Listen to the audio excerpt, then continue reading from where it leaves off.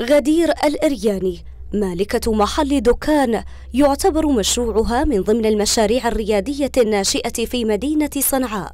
تقوم غدير بتلبية طلبات زبائنها باستمرار وتوفير الإكسسوارات وتفاصيل الديكور والزينة المنزلية التي يحتاجون إليها باستمرار.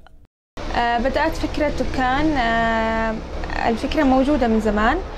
بس آه، نفذتها تقريبا كان في شوية معوقات سميته سبب تسميته دكان لأن أنا اخترت أصلا مكان صغير تقريبا عبارة عن دكان فحسيت إنه الاسم المناسب له حيكون دكان.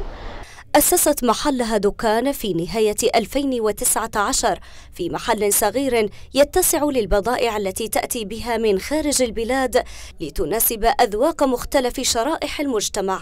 على الرغم من كونها مختصة في الجرافيك إلا أنها قررت أن يكون لها مشروعها الخاص بعيدا عن متاعب الأعمال المكتبية والحكومية.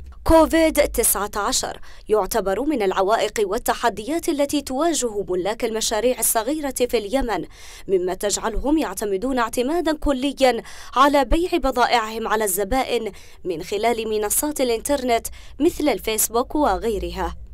في البداية لا الصراحة ما كانش في أي معوقات.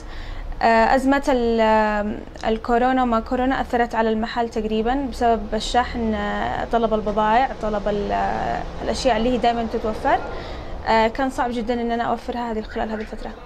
النصيحة اللي أحب أوجهها إنه أي حد مع أي فكرة مشروع لا يتأخرش إنه ينفذها مهما كان في صعاب مهما كان في يعني شوية مشاكل ممكن تواجهها على خطوة خطوة حتى ينجح المشروع بشكل تام.